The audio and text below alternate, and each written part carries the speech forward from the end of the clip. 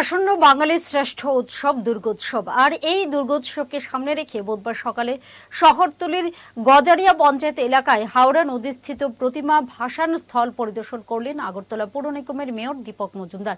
এদিন মেয়রের সঙ্গে ছিলেন বিধায়ক মীনা রানী সরকার, কর্পোরেটর বাপি দাস ও কর্পোরেটর অঞ্জনা দাস সহ আরও অনেকে। এই ঘাটে শহর দক্ষিণাঞ্চলের প্রায় ত্রিশ থেকে চল্লিশটি প্রতিমা প্রতি বছর দশমীতে নিরঞ্জন করা হয়। এর ফলে এই জায়গাটির উন্নয়নের প্রয়োজন রয়েছে। সে কারণে এদিন জায়গাটি পরিদর্শন করেন এবং পুজোর আগে প্রতিমা ভাসানের যেন কোনো প্রকার অসুবিধায় পড়তে না হয় সে ব্যবস্থা করার নির্দেশ দেন মেয়র।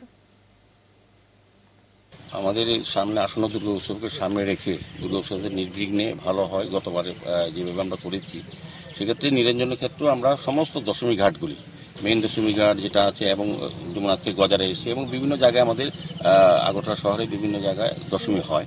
এই গজারিয়া দশমী ঘাটটা নিয়ে আমাদের মাননীয় বিধায়িকা আমাকে বলেছেন আহ, সরকার মহোদয়া যে এটা ভাসান করতে গিয়ে নিজ থেকে যারা আপত্তি নিয়ে আসেন তাদের অসুবিধা হয়। তো গতবার অসুবিধা লক্ষ্য করেছেন এবার যাতে অসুবিধা না সুবিধা হয় করতে সেই কারণে আমরা আজকে মাননীয় বিধায়িকা ওয়ার্ডে যিনি কর্পোরেটর অঞ্জনা দাস আমার এমআইসি মেম্বার বাপিতা সহ আমরা সবাই আজকে পরিদর্শনে এসেছি এবং এটা আমাদের ইঞ্জিনিয়ারদের বলা হয়েছে আগামী সাত দিনের মধ্যে যাতে কাজ শুরু করা যায় যাতে